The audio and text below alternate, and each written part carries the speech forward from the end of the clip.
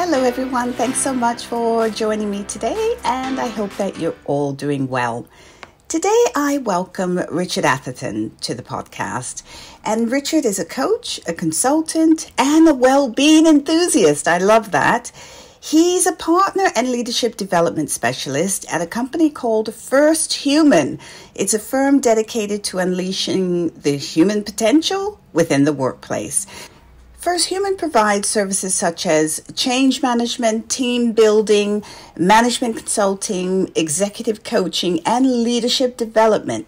So I'm going to speak with Richard about how they bring in the human side to businesses with leadership development and all the other services that they do provide. Richard is also an enthusiast of therapy, uh, specifically primal therapy, and he's so kind and generous to share with us today his experiences and how it did help him and continues to help him.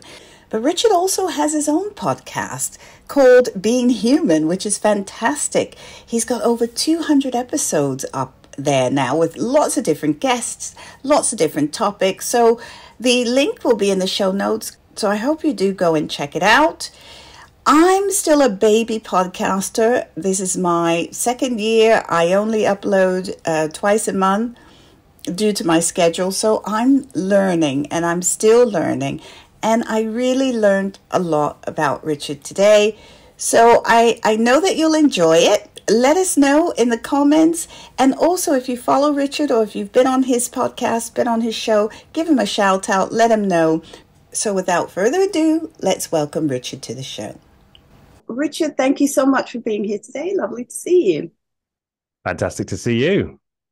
So, I want to start out about your business, talking about First Human.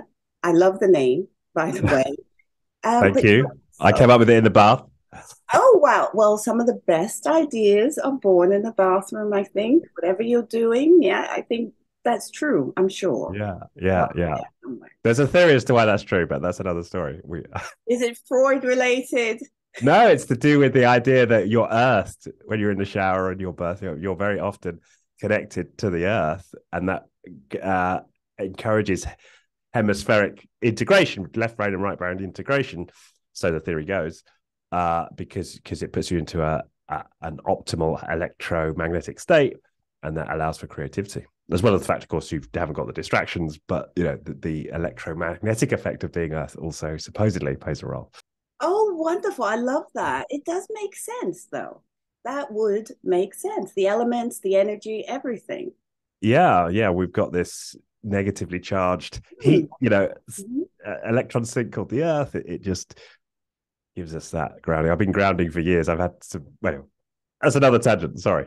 Well, but, we're yeah. going to get to that actually. Yes, because I love grounding. But yeah, but that makes sense. So thank you for that because no that's really helpful.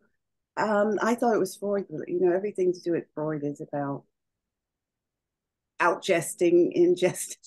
You know, so um, it may be that as well. I'm not familiar. Uh, so yes, so your business, you work as a consultant, and yep. it's really helping people within business. Yeah, become, I suppose more aware of how they relate so why would a business seek out your your services? Yeah, so we work in in three main ways. The, the first is uh, leadership development programs, um, where we take people of maybe fifteen to twenty people at a time, uh, and then we'll put them through a series of sessions, uh, and we'll invite them into uh, inquiries about who they are, about where they come from, their life story, how they, as you say, as that how they relate to other, where they get blocked, where they get triggered. Uh, we, yeah, we get into that work with them, uh, and very often it transforms their relationships themselves, to their families, to their colleagues. Uh, it opens them up to explore new possibilities uh, for where they can take their business, who they can be as a leader in the workplace. So we just we create this this space which allows for both a depth of inquiry and a an outward exploration of possibilities. Uh, and that's what we do with them. I suppose we all know there's different boundaries in a workplace, isn't there, than yeah. within your personal relationships. and that may cause a different dynamic. I mean, when we look at group work or the group mind and things like that, Mm. Is that the case? Um, I think it's true that there are certainly different norms in the workplace. I think it's changing, but even yeah, right now th- th- there still are quite different norm- norms in the workplace. Maybe for, maybe for good reason. Uh, I would say that the work that we do probably pushes about as far as you could go with some of the business norms in terms of what we get into with individuals. Mm. Uh, but when people are permissive of that and allow, allow us to work with with people at a deeper level, they they get the benefits, right? Because certainly in my experience, the deeper we go, the the the more profound the change we can make in our, in ourselves and how we relate to others, and and the more sustainable that change is. wow. I wish that was around uh, when I first started out in business because I was in LA and Hollywood and I was doing lots of extra work on sets and Oh, I watched directors, ADs, producers shouting at people and calling them names. And it's actually one of the reasons I trained in stress management. That was my very first training. okay. But when I saw that, I thought, okay, there's lack of impulse control here, but also everybody just took it. So it's a work environment, and I suppose the arts can create something very different than perhaps a tech company. Mm. And I suppose you guys see different, lots of different companies. Yeah, yeah, we work across all the sectors because it's the same. It's basically the same set of questions we ask whoever's in front of us, whether you make glasses or, or bottles, which is one of our clients at the moment, make bottles, or whether you're working for a media company, and we've had lots of media companies over the years. So yes, it's it's the same. Um, it's the same set of questions, but yeah, of course, you get different cultures across the, the sectors and yeah, uh, as you allude to, when you're working in a media environment, you tend to get a, a livelier set of characters and a, probably a bit more diversity of personality and expression uh, in the media space for sure. And you mentioned culture because people do talk about the culture of a company, the culture of a business, um, the culture of a workplace. Can that be difficult to dismantle, to identify, um, or does it come out through the questions that you guys ask and the work that you do? Yeah, so so culture is not something we. I mean, it's something I've done work a lot of work in that space in the culture space. It's not something that the first human specifically focuses on. We, um, but what we find is that when we do work at the leadership level, and we go to work with individuals and they transform who they're being, a natural outcome of that is a change in culture of the organizations that they're leading. So, uh, cultural transformation often comes as a as a byproduct of the work we do with leaders. Um, but yeah, we tend not to, and there are other firms that do, and it's there's definitely a a whole world of people who go directly at culture change, uh, and that's a yeah, that's that's uh, but that is possible to do. It's difficult to do, uh, but certainly uh, it's possible to completely transform cultures. And the podcast that, that I do, being human, we have a we've had a ton of stories of of you know head to toe changes in culture um, that have been uh, accomplished yeah by by leaders. When we look at culture as well, I don't know if it's necessary to even go in looking to change culture. I think it does show up and sometimes it comes from the top as well. Mm. And also, you've had several incarnations, I'm going to call it, uh, in your career and kind of coming up to where you are now. Mm. Uh, you've been a stand up comic, uh, you ran a goth club, uh, you've also did a burlesque comedy. I was an I was a burlesque impresario. Amazing. Tell us a bit about how you sort of went through these phases of of work and career.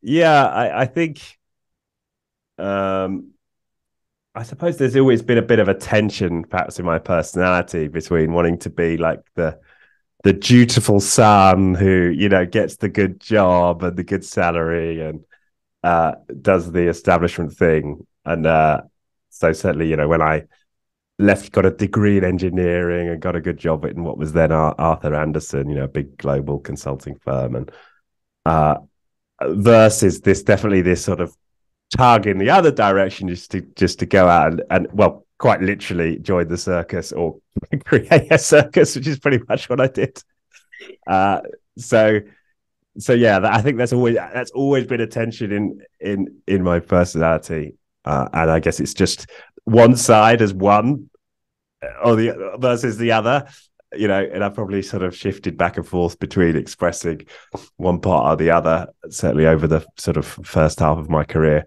It feels like it's settling down a bit now uh, with all the, the, therapy work I've done and the deeper deeper work. It, I think it's just had a uh, a sort of calming effect on, you know, my expression in the world. Uh, but yeah, that's definitely a, a, a tension there, the kind of good boy and the and the wild child. Yeah, absolutely. I, and I think we all have that dichotomy sort of thing. Um, the dreamer, mm. Jung's archetypes too. I think they all play in in some way. Um, but you know, I'm not proposing any particular school of thought, but it's all out there, really. Mm. When you jump into therapy, which we'll talk about as well, you will explore and you may even explore more. And then some of it may be repressed then. Yeah, I, I think that's right. And I think a lot of, uh, yeah, I think I think in, in some ways, as much as the therapy has definitely has, certainly had a sort of stabilizing effect on on my personality, I would say it's also you, you, what I found is that you sort of open up those parts of you that didn't get expressed as a kid, and then you want to you want to find outlet for it. I mean, I, I had a guest on my podcast recently who'd who'd been working as a strategist, corporate strategist, his whole career, he did some some spiritual work and you know spent time you know in India and retreats and so on, and then came back to his life and and took up a, a kind of side career as a as a DJ. And that was and that was as he saw it something that never got for him had never got expressed as a kid that love of music and, and creativity and so on. So so now he's a corporate strategist and a DJ. Wonderful. This is a hell. Well, I believe it's a very healthy way to approach life, um, especially past 30, you know, because you're approaching that mid mid age kind of mid life mm. where you're looking back going, oh, I wanted to be Jimmy Page or I thought I was Robert Plant, but maybe I'm not, you know, and maybe that will never happen, you know. So it's reality tech, I think. yeah, yeah, I think when you get it's interesting when you get to a certain level of of sort of financial security, you know, a lot of people do have that ability, right? They they can afford to go to maybe three days a week in their substantive career and spend a bit of time doing other things, um, which maybe you don't have that opportunity in your twenties, let's say, where uh, it, it's a bit you may not have the responsibilities, but you probably don't have the same kind of level of earning power. So it's it's interesting that yeah you do you do get a, a lot of people and, and I think that's increasingly happening actually is, is people are opening up. I think the pandemic accelerated that trend right? It's like you know what am I doing in this job? You know I've been wanting to do X all these years and so I do think we're seeing a, a slight shift in people's attitude to their careers and maybe they don't need to be as you know as linear or as singular uh, as they'd once assumed Yes, it's singular, definitely. Uh, because, yeah, the pandemic certainly forced us all, I think, to go a little bit more, become a little bit more introspective. Yeah. And because that's all we could do, stare at ourselves most of the time. Yeah. Um, so, yes, interesting. But talking about that, sort of that introspection, and I know John Lennon did primal therapy. Mm. Uh, the Beatles kind of really pushed that out there. Uh, he had a lot to say about it, as I recall. Yeah, he wrote songs about it. Yeah, yeah, yes, that's right. Didn't wasn't there an album or something about it? Uh, well, he certainly, I think, on the album he did in collaboration with Yoko Ono. Oh, there was the song "Mother." Oh yes! Oh wow! Yeah. Yes. So he now, I is that something that you've tried as well? And yeah. I mean that's pretty much I suppose in some ways that defines my my therapy journey or yeah my emotional healing is is my primal therapy work. Yeah i found it um well initially through i was in a 12 step group and somebody um, recommended me John Bradshaw's work. I'm not sure if you're familiar with that Homecoming, you know, and his his inner child work. Inner child Um, work, got all his books. Wonderful. Yeah, so I started with that and found a therapist who was very kind of al- uh, was a very aligned with that John Bradshaw way of thinking. Um, but what became quite clear in my work with that therapist, as much as she was wonderful, I was starting to dig into my birth trauma, and Bradshaw doesn't really touch birth trauma. Uh, and it was is Janov who's who had a lot to say about birth and birth trauma, and I had a traumatic birth. Um, and whilst there were certainly sort of traumatic aspects of my childhood, the the big trauma for me was was my birth, and so that led me to Janov's work, and and uh, and ultimately to Santa Monica, and you know a decade or more of of doing primal therapy. Yeah, Wonderful.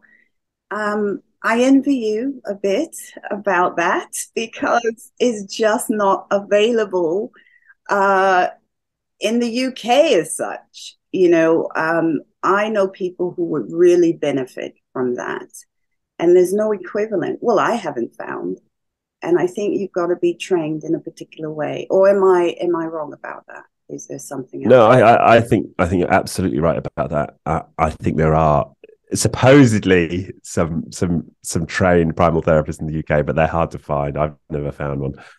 Um, yeah, I mean, I was just lucky I had the resources. You know, at the time I got into it, I didn't have dependents. I was making a lot of money doing uh, the consulting work that I was doing, so I could like do six months of, of consulting, save a bunch of money, go live on the beach in Santa Monica, and do primal therapy every day for six months, come back, rinse and repeat. And I basically did that for five years, and uh, you know, extremely privileged to be able to do that. I, I absolutely get that for most people, you know, even a single session would be, you know, quite an investment, right? You might spend, say, like 150 pounds on a session because primal sessions can run, you know, two, three, four hours.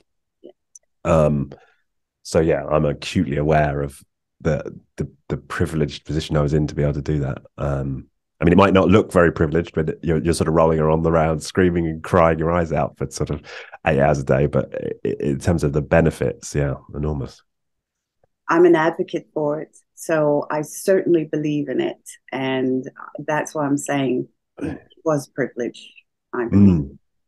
Because you do need that mentoring though too. And Janov, uh, I, I don't know. I know he trained people.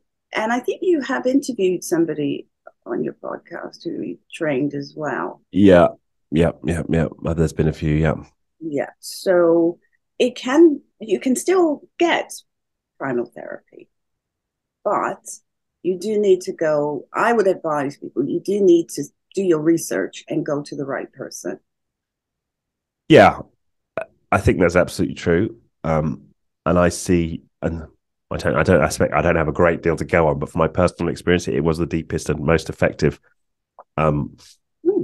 form of therapy. But I, I also think the broader principle of trauma release work, and and there are manifold ways to get into your trauma. I mean, I've done rolfing, which is another way into your trauma. I know that people do the holotropic breath work and find that as a way to get in the trauma. I know that there's people who use the plant medicines, and that's a way to. So I, I, I think the broader principle of finding ways to get into that buried pain and finding ways to resolve it is is the most important one. I happen to believe that primal therapy is possibly the best way to, to do it, to do the work. Um, but as I say, I, I you know I'm biased. I I think that the broader idea of finding ways to surface your trauma and resolve it is what's what's most important. Never miss a show by clicking the subscribe button right now. Thank you for your support. You make this podcast possible. Now, back to the show. Yes.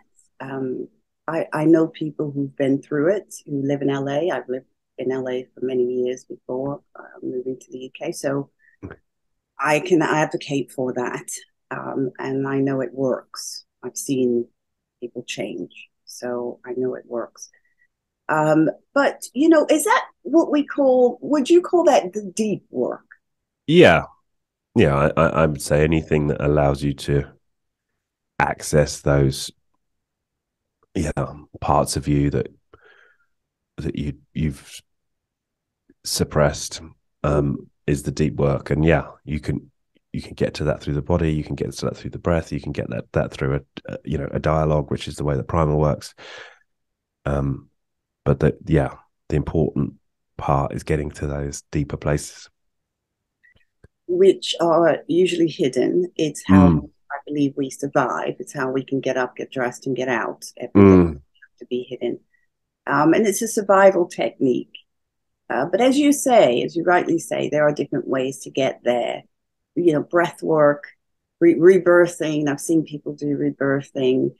It is all very different, though. It's not primal therapy. So just to be clear uh, about But I, I, I think that primal therapy is the most refined of those techniques. You know, that's my experience and you know, sort of my hypothesis, I suppose, is that that he was such a dedicated scholar, Arthur Janov himself, and he you know he was working at so many levels simultaneously i do i do think the guy was a genius you know he he was looking at the you know the neurology the the physiology the the the, the style of therapy itself the you know, you know he you know, he he just thought so deeply about that process of of accessing and re- releasing trauma in a way that I'm not sure anybody else has. Yes, there's lots of schools of thought about trauma, trauma mm. work, uh, trauma bonding. There's a lot out there. Um, and certainly when I was doing my psychology, I it didn't touch upon it very much. Uh, you know, it's all about other things.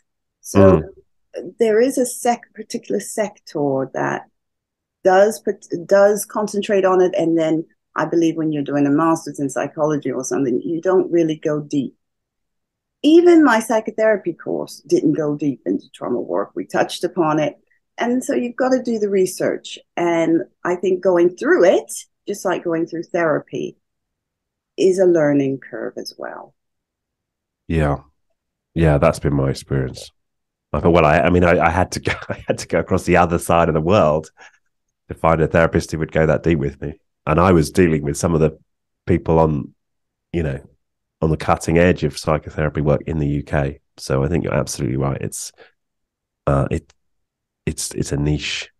Um, people don't tend to want to go there, and for understandably, right? I mean, if if I could have chosen to, if I if there was a way for me to have a satisfying, fulfilled life, that meant I never had to go to primal therapy, I would have 100% chosen it, chosen it because it's highly disruptive, it's expensive, it's painful. You, I mean, that's the whole process is getting into your pain um, and and relieving it. it. There's it's yeah, it's not a pleasant way to spend your time.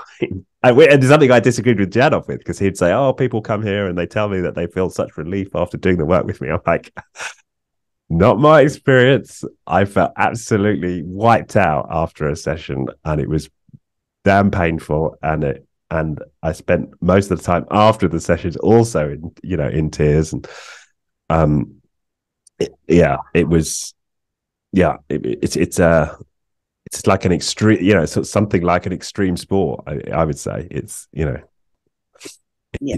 you've got to have a level of dedication to put put your body through it. Yeah. Speaking of which, um, uh, but I like that because what you're saying is really overall, even if, even if it's not primal therapy, therapy itself is a long haul. It's not mm. sessions and you're okay. And sometimes there are issues, things like grief, um, things like, I don't know, stopping smoking. Uh, sometimes mm. can have a few sessions for something. Um, yeah. But therapy overall is not a quick fix. No, it's not a quick. It's absolutely not a quick fix. And I remember getting some advice once when I start because I started with the twelve step rooms. You know, my first sort of route into this healing was you know the abstinence, and uh, yeah, somebody said to me very early on, it takes ten years to get your marbles back, and another ten years to learn how to play with them. So I think I was very lucky to to have my expectations set in terms of decades uh, very early on. Um, and and you know that's obviously something pertains to those you know to the to the 12 step route for recovery but absolutely applies to therapy as well yeah absolutely And I think some people do believe that yes, I've made the step now, I've jumped in, going to do therapy. Oh, I love my therapy. Well, something's not quite right if you're loving, loving, loving. I'm yeah. questioning what I'm doing now. Um, yeah, but so it's not, you know, therapy. In fact, I think that's a that's a great signal that it's not working. I had a therapist who was more psychoanalytical. He was a bit more sort of Jungian, you know, psycho mm. psychoanalyst, and uh, I'd come out of the out of the sessions feeling great. It's like I've had all of my you know dysfunction validated, you know, and for about three or four hours after the sessions, I felt on top of the world, and then the same compulsions and addiction would all sort of rise up, and and I, you know, and I'd be back to square one, and and it wasn't it wasn't providing me with any sustainable shift in who I was, um, and and you know, for much as the guy was well intentioned, he just wasn't working at the right level um, in order to have me heal. He was working at a cognitive level, and he in the session and for some period afterwards, I was able to kind of have a sort of bump in self esteem and feel a bit better about myself. But yeah, and and and there may have been certain conditions for that was that for which that would be perfect, but um, ineffective. Yeah, but not for me.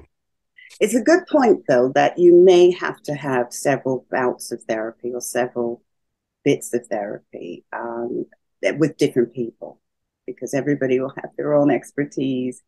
Um, I've yeah. Psychoanalysis, you know, lying on the couch, frightening, probably. I would say that's probably top to or second to primal therapy uh, for me. Right. It's not for everyone. It's not for everyone. I think so. No, no. Have you had psych uh, psychoanalysis?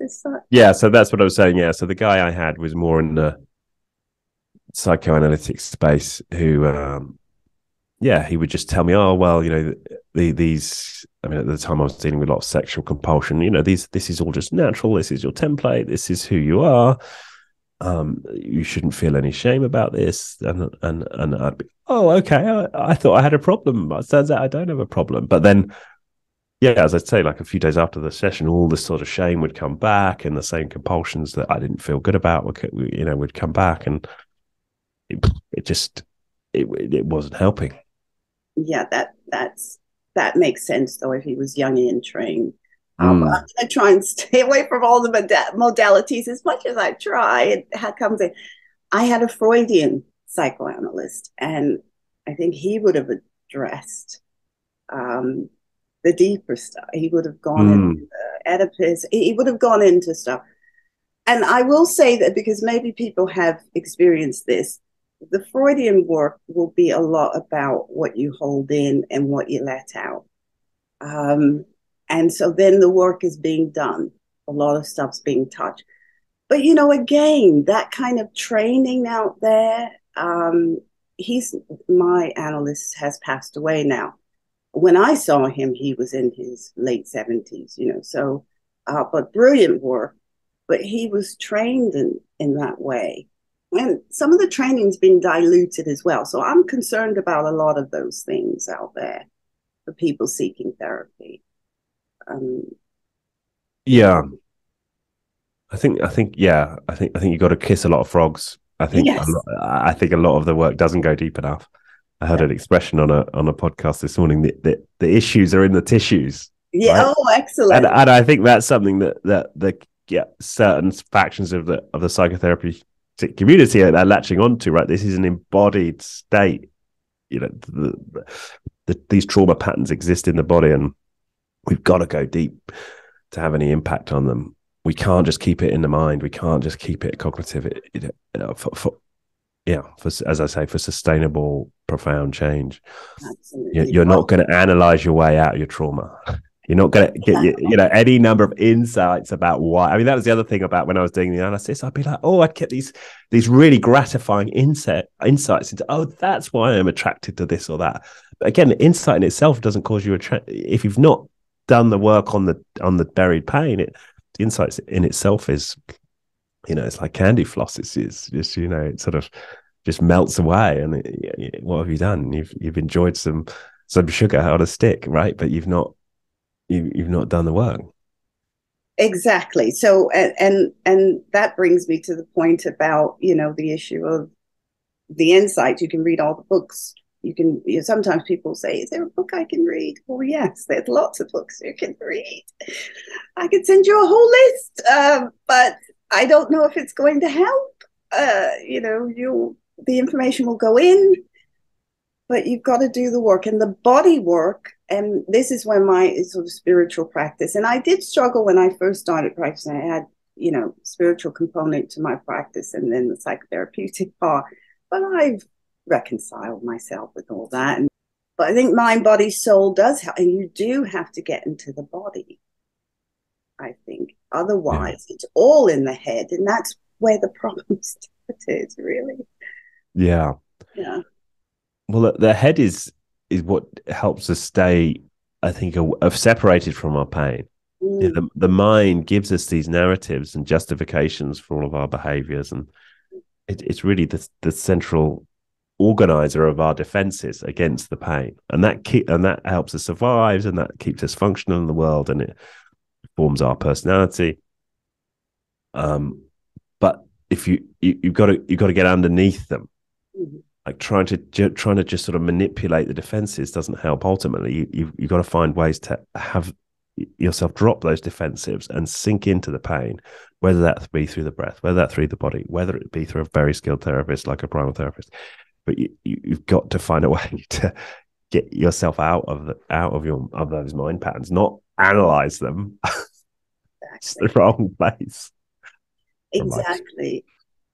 And for some people who are quite left brain minded, they need some analysis to go away. To, I, I like to call it the cotton ball. So and then so people are relaxed a bit more now. And then you and then you go you have to go in. You mm. have to say, okay, this is you know, this cotton ball there feels nice and soft. Now that you're comfortable, let's get to it yeah. Get to it. So there's ways in which you learn how to work i think and i like to transfer that to life so that people leave because for me as a therapist at some point you've got to take the lead and go out there. So my job is to get to help you to come to these realizations and the skills and do a bit of cotton balling yes but then you're going to come in with a sledgehammer and knock a few bits out and yes, you may take to your bed for a few days, but that's okay. Yeah. You, you, you, know, you took you you drowned yourself out with drugs for 10 years, so take to your bed for three days. that's fine. Or yeah. whatever it is, you know. You, yeah, or a year. Like one of my yeah, one of my therapists, Frank, when we first started doing primal, he basically didn't get out of bed for a year. He just cried every day for a year. I mean, and that's yeah, that's what it takes sometimes. I mean, I, I wasn't far off that. I just sort of did it at intervals, but yeah. It's being acknowledging, being kind to yourself. And when you come from a household, if you come from a household where neither of your parents were any of those things, they may have been self absorbed, you mm. know, and left you to be self reliant, then you may grow up not being self reliant, not thinking, oh, I need a rest yeah. People yeah. badly. I need to say something. Mm. You will become passive to the abuse. Yeah. And then people abuse themselves with yeah. substances or relationships. Yeah. yeah, that's such a that's such an important point. Um, and even before I got into therapy, some of the very early work I was doing in the 12 step rooms there's this one meeting I went to for called uh, yeah for Co-Dependents Anonymous, and you had these sheets, mm-hmm. and it would just it would say I feel X, you know, I I feel sad, I feel anxious, you know, whatever, and and and, and at the start of the meeting, you give a given one of these laminated sheets, you had to pick one, and and I didn't really know any other expression than I am fine, you know, I was and I was. Arthur, Arthur Janov used to say pathologically English, right? I just I wasn't able to give any other expression than I'm fine. And so that that that first work of just just starting to have a modicum of, of self empathy and ask myself that question, what am I feeling, was, was some of the really important opening up uh, that I did be- before I got uh, to to therapy, to proper therapy. So, so I think you're right. That um, starting to break down that shield that we create around ourselves as a result of of trauma and abuse is important. Important. Absolutely. How you're showing up, what you're doing, what you're saying to yourself, what you say to other people. I love it when people say, I'm, I'm more kind to other people than I am to myself. Mm. I always question that because uh, probably not. You're probably not. you probably mean to other people as well. you just right. don't. You don't acknowledge it yet. Yeah. Yeah. So there's passive aggressive. There's lots of stuff. If you mean to yourself, you are going to somehow. That you're not going to be able to sit with that for long. It's going to come out. Mm. Project out. Projectile. it will come out at some point. Um, so yeah, so a lot of things we say or believe about ourselves, I think, are untrue, and so therapy, I think, helps us. And people always laugh when I say, "Look, we need to shrink down your you've got this big grandiose idea about who you are what you are even if you're downing yourself. You think oh my problems are huge. But actually there are millions of people with your problems with the same problems. And that's where the whole shrink phrase came from. And people say really? And I say yeah we should you know helping to shrink the ego. Mm. i didn't know that's where it came from. That's interesting yeah. Yes. I, yeah, I know a lot of people don't know that, but that is where it's come from. We the role is to help shrink the ego so that we because everybody comes and says, Look, I've got this huge box, this huge thing, this huge big trunk of stuff. And it's just me. I've only got this. And yeah, look at me. Hello. And yes, I'm looking, I'm watching, I'm seeing but um, eventually that box gets a little bit smaller. Keep coming, and the box gets a bit smaller. Um, and the box is, of course, representative of the ego. Um, we could talk about cupboards, boxes, lots of different things. Yeah, yeah. That contain, in other words, that contain things, containers. Um, and so, yeah, the ego, I think people think they don't need it. You do. Um, but you've got to try, if you can, with some help and work, uh, work with it. And I think meditation can help with that. I know you've done some, so, and we want to talk about your podcast as well, because I, I, therapy is one of my favorite topics. It's not my favorite, I have to say, it's, but it's one of my favorites. I know it's it's ironic, but it's not. Right, given I, am looking behind you, nine nine teachers therapists. It's interesting yeah, well, yeah, but yeah, it's not my favorite. My favorite is comedy and things like that. But oh, yes, I love comedy. Um, a soul. I laugh all day, laugh every. I love it, love it, love it. And I know you do as well.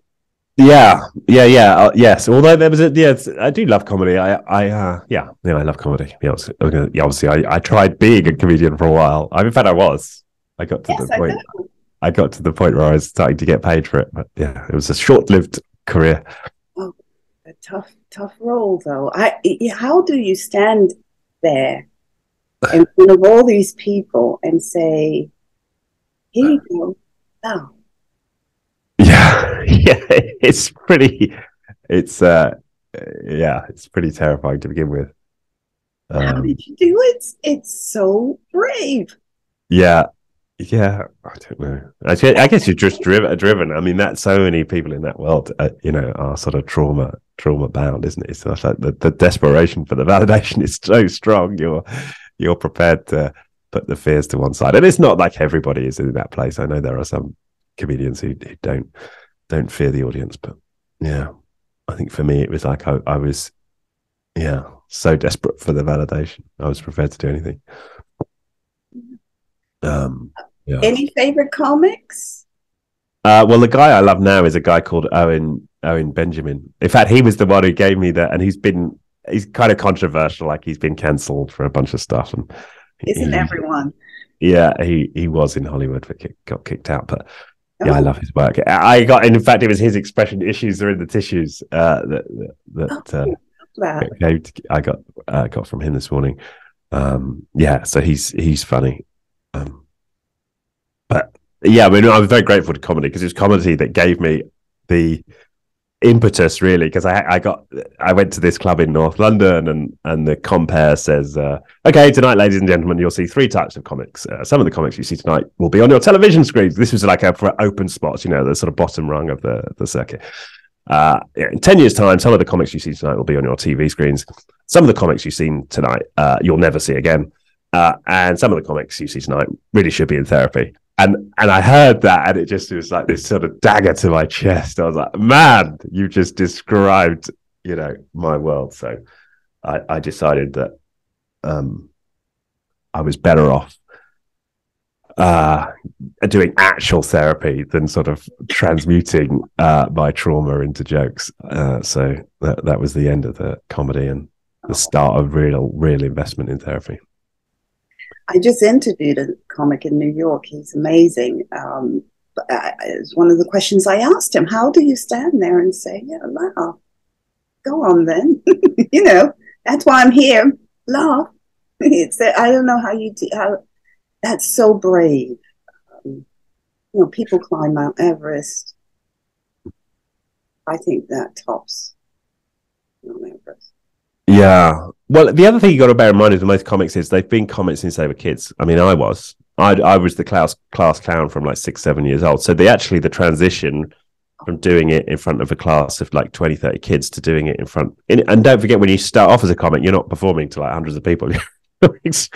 you're performing to like six people above a pub, right? So or a bar. Uh, yeah. So uh, yeah, you you you, you do build up to it, and you're kind of doing what you've always done uh, except it's not it's not your schoolmates; it's uh, some strangers. Well, is there anything that makes you laugh that you people would be surprised about? Well, yeah, I mean, all of the un un PC stuff. Yeah, so the the less PC, the funnier it is, and I think.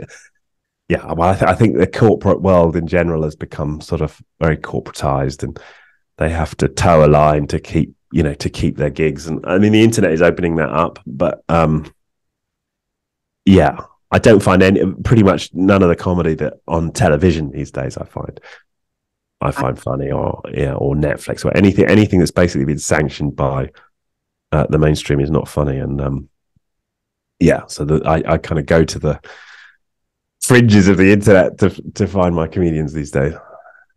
Yeah i i like the dark humor so for me, it's dry humor, Steven Wright, or the older comics, George Carlin. Um, I do like Ricky Gervais. Ricky Gervais is about as as close, you know, he pushes it as about as far as he can, right? He's uh and, and just about stays on that side of not being cancelled. So yeah, he's still funny. Have you heard of Norman Cousins? No so he was a he was I think he was an engineer as well, uh, but he laughed himself well. So he got quite ill, quite very ill. If you look him up, you'll he's on he's there. Mm. He's passed on now, but when he was very ill, he watched funny films the whole time, and he got better and better and better. So comedy heals. I, I think that's right. I think that's right, and and it seems so close physiologically, doesn't it, to crying? Uh, that that that has me wonder: is it not a kind of a similar process that's going on here? It seems so so close. Um, crying for me is painful. I don't mm. like laughing, but crying hurts. Most right. It, yeah, but I just, I just, when I just look at the, the body mechanics of it, right, they're very, they're very similar. And there's even a form of therapy, isn't there, that the sort of that sort of shaking shaking therapy. That I think there's something in that, right? I think when we put our body into that sort of autonomic sort of state, we we we're shaking something out. Definitely. Weird things can make you laugh, I think. And I think I'm saying these things because viewers, listeners out there, whatever you find funny, even if it's not PC, just have the belly laugh. Yeah. Just do it. Just laugh. Don't feel guilty about it. Just nobody's watching. Yeah, yeah, absolutely. Yeah. And there's there's even uh, Yarf, laughing yoga. I had a guest on the on the podcast who was into that. Yeah, swore by it. Yeah. Let's talk about your podcast as well because I love being human. Um, do you have any particular daily practices before I get to that that make you feel human? so yeah, I've really got into the Vedic meditation. I actually didn't do it last night or this morning. I've got a little bit of a cold, and uh, I just chose to to go for the for the sleep instead. But um, I do that twice a day. So I do it uh, in the morning and in the evening. And interestingly enough, I skipped it last night. I was just yeah, just feeling a bit heavy and just I'm just going to sleep. And then I woke up at 4 a.m. and I I never wake up in the night. It just hasn't happened since I started meditating. And it's interesting that one day off the meditation in the evening, and I get disturbed sleep. So, um, so I think I think in terms of it's much easier to be a, a good human on eight hours sleep than than not. Um, so that alone is uh, a reason for me to do meditation.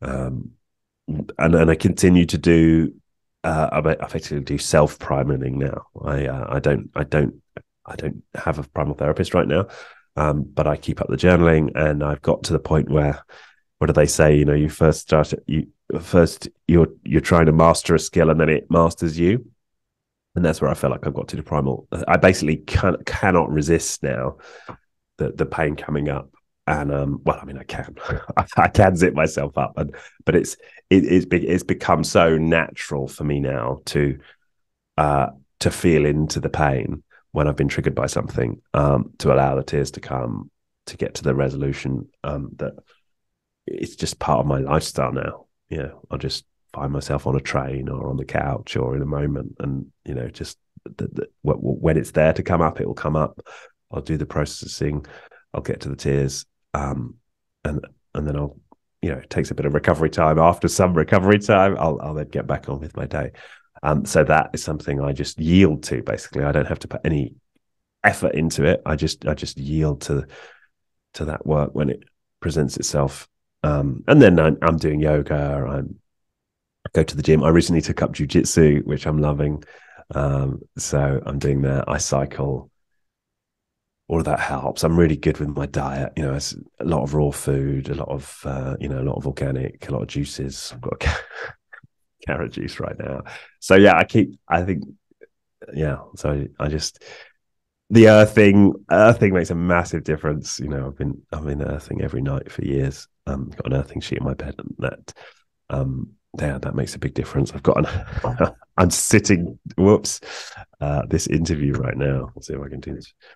This is an, oh, earthing mat. So my, you know, as I'm talking to you, uh, my wrists are connected to via that sheet, the earth. Um, so, yeah, there's a smattering. And there's probably some I've forgotten. I've kind of become a health and well-being geek, uh, uh and I think, I, and I, I again, I, I relate that to the therapy because as I become more in touch with myself and I just just become more whole, I become much more sensitive to my environment.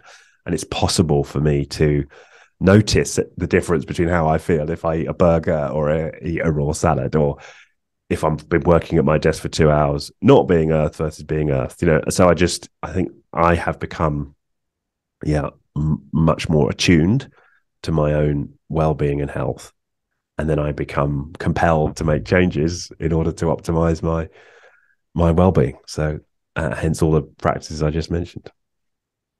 Yes, but it does show as well that it's something you consciously make an effort to do. Mm. Um, and I think your example of not doing your meditation, maybe you've explored why you didn't already. But yeah, and you're right. I agree. Those things really help to support us. Um, do you do because you do your meditation? Do you do any visualization or grounding where you maybe see yourself or feel yourself connected to the earth? Well, I don't do any. I don't do any sort of psychological work. I just do the physical, mm, right? The physical. You know, I just make sure I am. I am grounded as much as I can be. Um, but yeah, as a sort of medita- meditation as well, I I don't do that. Um, no. Uh, yeah. No, the, the, the Vedic meditation is is focused on this repetition of a mantra. Um, yeah, which has a which has a sort of psychological grounding effect. Um, but yeah, not that not those. And, and I think I know what you mean in terms of those sort of grounding meditations. I don't do those. Meditational grounding where you feel almost as though you've got stakes coming from your feet into the earth. And they find it really powerful that they become like this, you know, so supported. Um, yeah. When we got to that part, all of a sudden do that because they felt like the earth was had made their back straight or something. It's all mind body. Yeah. No, that's uh, that sounds fun. I'll tell you, just when you mentioned posture, the thing I hadn't talked about is I've been getting into the the tuning fork work. Oh, right. Where you, um, I have a tuning fork and I, I place it on different parts of the body and allow for a resonance with, uh, with the frequency that the fork is tuned to. And I find that, but back to your posture point, I immediately, there's this one spot just under my nose, and if I put the tuning fork there, I immediately get this sort of very, uh, uh, very good, very good posture. So it's uh, uh, just started playing with that the, this idea of the electric body and oh yes, as electromagnetic being. It's uh, something I'm just starting to explore. Yeah, and and it's all connected, isn't it? But your podcast, um, being human, why did you start the podcast? Uh, initially, it was because working in the corporate world, I felt that there were certain I- topics that were taboo and and I think they are still to to a great degree. It's changing, and and I wanted to sort of I wanted to shift the Overton window within the the business world. So what it's okay to talk about in a business context. You know, can we talk about the impact of childhood trauma on people's performance at work? Can we talk about whether or not being earthed makes a difference in you know who we are in the workplace? Uh, yeah, can we talk about diet and its impacts and, on performance at work? Like all of these topics, I wanted to create a podcast that just opened up that window, uh, and that's so that's the main reason for doing the podcast. Yeah. Amazing. And how long has it been going now? Uh, we're in like 250 something episodes, 256, something like that. So, yeah, I've been doing one every week. So, pretty well, virtually every week. So, five years. That's incredible uh, yeah, congratulations on that because thank you. You had some amazing guests as well. Yeah, it's been great. It's been great. Great stuff. Very informative, educational as well. Lots of different topics. I like the one about psilocybin. Uh, oh yeah, yeah, Neil Neil Mark. Yeah, and then that, there's a good example, right, of how the business. This is a guy who worked for McKinsey, worked for hedge funds, and now he's setting up mushroom retreats. And and his plan is to get executive teams to come out and do mushroom retreats, right? I mean, that's imagine that. Like even five years ago, right? Could you imagine someone with that as an aspiration? So definitely, the, the world is changing. I think the people will be there. I think they will. Go. I think they will go. So um, he's on the right track there. I think. Um, but yes, you had other people talk about. Um, you had a psychologist talk a, a bit about um, uh, psychotropic drugs or maybe yeah there's there oh i'm blanking on his name but yeah he he's, he was using m uh i think his main thing was using mdma in therapy.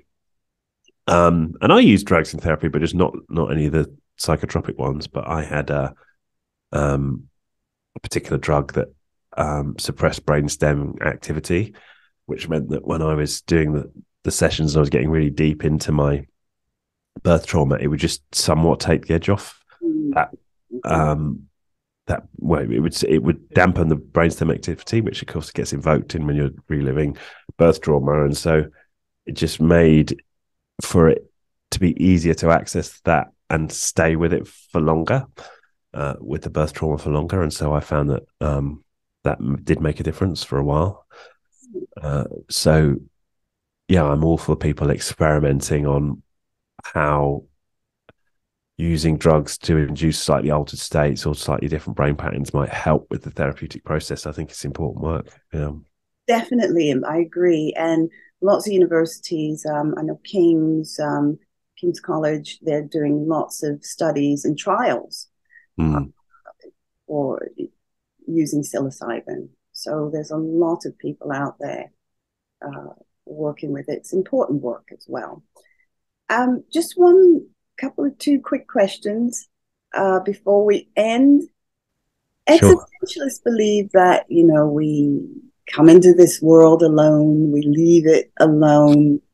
I just wonder what your take on that is. Yeah, it's a it's a great question. Um, I mean, when I do my meditation, and I I, I sometimes get those moments in meditation where you get this, you enter some altered state, and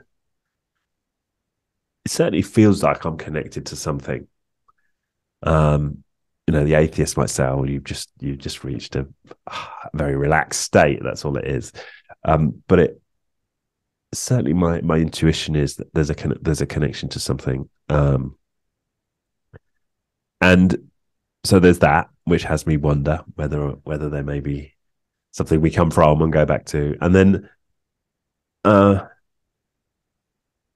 and then I think also my my sense is that we are tapped into informational fields, and I don't know if you're familiar with the work of Richard Sheldrake and his idea of the morphic field, and but this idea that there's a there's a sort of there's an informational in, in field that we're interacting with, um, and and some of that resonates with me as well. I think, mm, yeah. Um, and we had a guy who was looking at the fourth state of water on the show recently. So this is the idea that there's there's ice, there's there's vapor, there's there's just normal water, and then there's um, this this EZ water, EZ water, which is uh, like a like a gooey consistency um, that he's claiming can can hold memory. And there's some studies that have been done where they'll take you know a beaker of walk, water.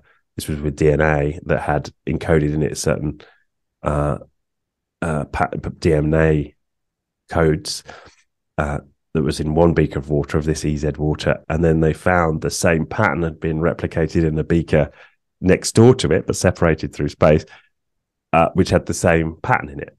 So, I mean, that begs two questions: How is it that water is storing this information, but also how is this information transferring through space? So, so when I come across studies like that, I'm sort of forced to question well okay is is there some yeah field that we're interacting with that's carrying information? Um and so is that is that something that is animating us? As you say is that something that we somehow come from when we incarnate? Like those are questions i find myself asking yeah not that i've come to any answers yeah well Yes. Okay. Interesting stuff there. Hmm.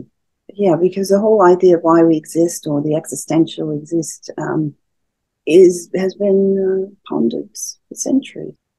Yeah, and will continue to. Something. Yeah. Well. Yeah. Well. Yeah. Yeah. Absolutely. You on your podcast, really. Yeah. I did my, it, my Vedic meditation teacher made a prediction. He he he predicted that I was going to go get much more into these these spiritual questions over the next few years. That's what that's what he thought. So we'll see whether that is my my destiny. I mean, I've been pretty much exclusively focused on just not being fucked up, just being just being healthy and stable. That's that was that's been my goal until now. But maybe I'll have some space to explore these deeper questions. Exactly. Well, that's the priority, really. But yeah, existentialism or spirituality and all that's fascinating for me. I'm a skeptic mm. about most things. I feel like I'm a born skeptic. I'm always questioning. Um, and have you had any mentors in your life, professionally or personally? Uh, yeah, a ton of a ton of mentors, I suppose. Um, Oddy, my business partner at FirstHuman, he's a great, great mentor. He's been doing this leadership development work a lot longer than I have. So he's been a great mentor as I've been getting into that space, um, as has Philida, another business partner at FirstHuman. Uh, and then on the on the therapy, I mean, in in a sense, therapists are also mentors. Uh, you know, in some in some ways, I think of them like mentors. Right, they're they're not just helping you do the work; they're also um, guiding your your path, you know, down so they're the healing path in some sense. Um, uh, I've had some great yoga teachers. Um, yeah, I've got a great jujitsu instructor right now. Yeah, yeah. So uh, yeah, plenty. Um, on the podcasting. It's interesting actually. I don't really have too many mentors on the podcasting. There's a guy called Brian Rose, another somewhat controversial figure, but works in London. Uh, and he he uh, I did his podcast course at the, right at the start, and so he helped me very early on get get started with podcasting. So yeah, so yeah, I've been very grateful to have had uh, a few people guiding the way along the, you know, uh, along the path. Yeah, it's helpful, isn't it, when we have other people? So I think, um, yeah, it helps to form us as well. Oops. So Richard, thank you so much. Um, I really appreciate you doing this. I've learned so much as well, and things I didn't know about. So thank you, and we'll continue to watch as well. Weekly, you said. Yeah, weekly. Yeah, yeah, weekly. Usually get it out towards the end of the week. Usually Friday. Sometimes uh, over the weekend. But yeah. Excellent. Well, the links will all be in the show notes. Thank uh, you. And then we got a telegram. We've uh, we've just started up. Oh. Um, which which is where I plan to put some of the more um, you know spicy memes and uh, opinions and the kind of stuff you probably wouldn't get away with on LinkedIn. So yeah, great stuff. Excellent. And those links are on on your um. Yeah, yeah. I can. Well, I can. I can send them to you as well. But okay. yeah, you can also find you can get you can get there from the uh, from the podcast as well, the YouTube page. Brilliant. And you know, I'm going to predict it. I th- I think there's a book in you. I think you know it. Um, I don't, I'm not quite sure why you're hesitating about it, but uh, I hope I hope at some point you. Yeah, I, do, I, I do I do intend to write a book. Um, in fact, I've written like sixty thousand words of a book. I just haven't. Yeah, I need, I need to get it over the line. And I've always felt like I want, if I'm going to stand, because the book I'd love to write is basically how I cured myself through primal. Mm-hmm. Mm-hmm. Um, because that was the promise of primal therapy, right? It's the cure for neurosis. That was, I think, on the maybe been the subtitle of Primal Scream. Um, the cure for neurosis, which is extremely bold, right? Because every other psychotherapist is not telling you that they can cure you. They say they can help you um, with your symptoms, but nobody's saying you can cure. But I found primal therapy to be cura- curative because it works at the lowest level. And once you've once you've resolved that bit of pain, it's gone forever you know, you you it's gone from your system.